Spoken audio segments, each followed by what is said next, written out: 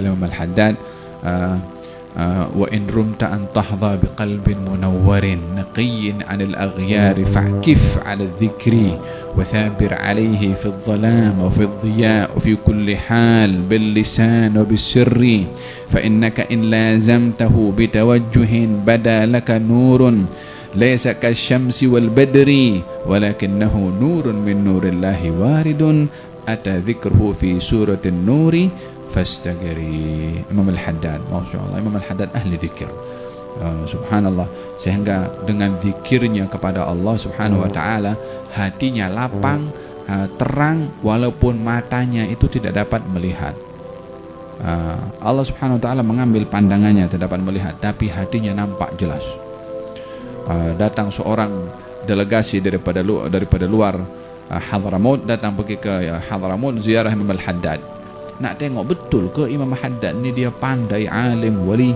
Uh, tapi dia buta. Macam mana orang buta boleh jadi pandai? Hmm. ziarah Imam Al-Haddad. Maka dihidangkan kopi. Tamu tu yang ingin tahu Imam Al-Haddad uh, alim betul ke atau tidak dia, ketika dihidangkan kopi secara tak sengaja lalat terbang masuk dalam kopinya.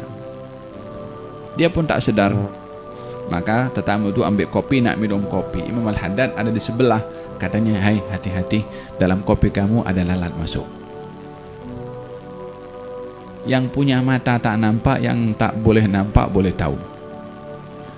Dah tak payah cerita ilmu dah itu sebelahnya dah. Okey khalas.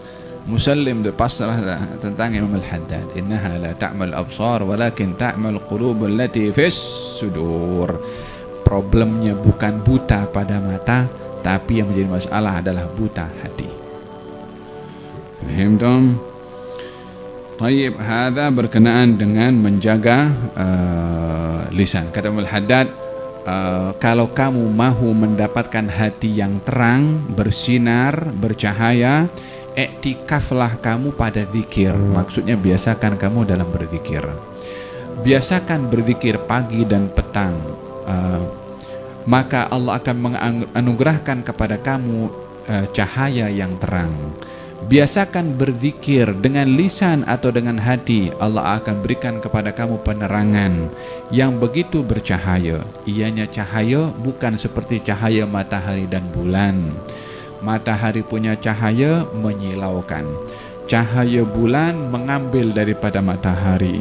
Tapi orang yang berzikir bukan cahaya seperti matahari, bukan pun bulan yang ambil cahaya daripada matahari, tapi ini cahaya daripada Allah Subhanahu wa taala seperti mana di dalam Al-Qur'anul Karim Allah berfirman Allahu nurus samawati wal ar. Allah itu cahaya kepada langit dan bumi. Maksudnya Allah yang memberi cahaya kepada langit dan juga kepada bumi juga kepada hati orang yang berzikir pun juga akan diberi cahaya oleh Allah taala.